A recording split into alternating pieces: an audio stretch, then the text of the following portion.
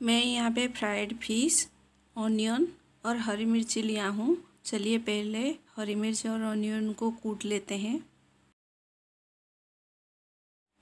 प्याज हमारा अच्छे से कूट चुका है।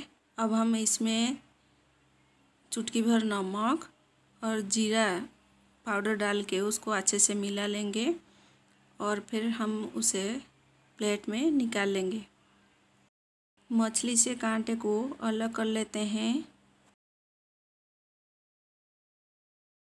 अब हम प्याज और मछली को अच्छे से मिला लेंगे। ये देखिए, हमारा तैयार हो गया मछली छेंचा। इसे आप बनाइए, खाइए और मुझे कमेंट करके ज़रूर बताइए।